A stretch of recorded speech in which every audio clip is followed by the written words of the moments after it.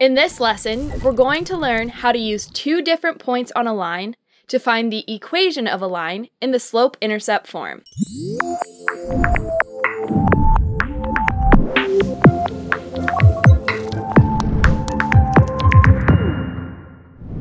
So it's quite likely that you've already watched our previous video on the point-slope form. In it, we go through an example towards the latter half of the video, where we use two points in a line to find out the linear equation in the point-slope form. In this video, however, we're going to use the same two points to confirm that we can also find the same linear equation through the use of the slope-intercept form instead.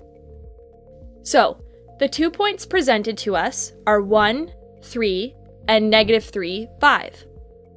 Alright, and since we want to use the slope-intercept form of the linear equation this time, let's just bring that up. Great!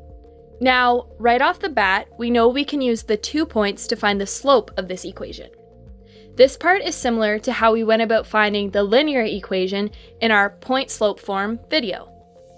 All we need to do is use our slope formula here and plug in our numbers to get the following. Simplifying this, gives us 2 over negative 4, which simplifies down to negative 1 over 2. Good! So let's just plug that in for m. Now we've got y, x, and b as our remaining variables.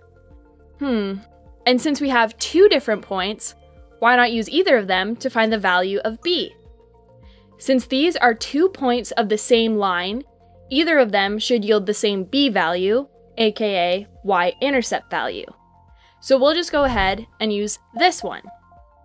Now, if we substitute 1 and 3 into the x and y variables, we would get the following.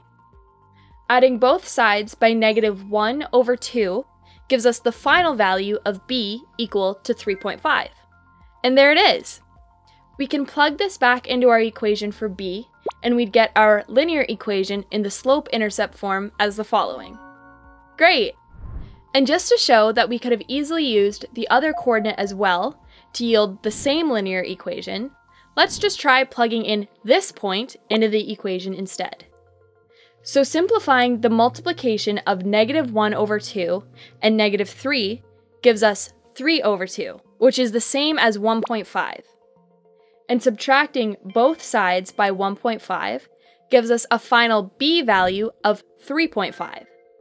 So we can also plug this back into our equation for b and see that we got the exact same answer in the slope-intercept form as we did here. Awesome!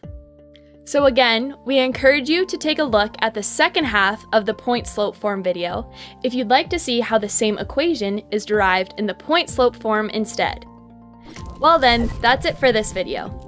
We hope you keep practicing some more questions, and we will see you guys in the next lesson.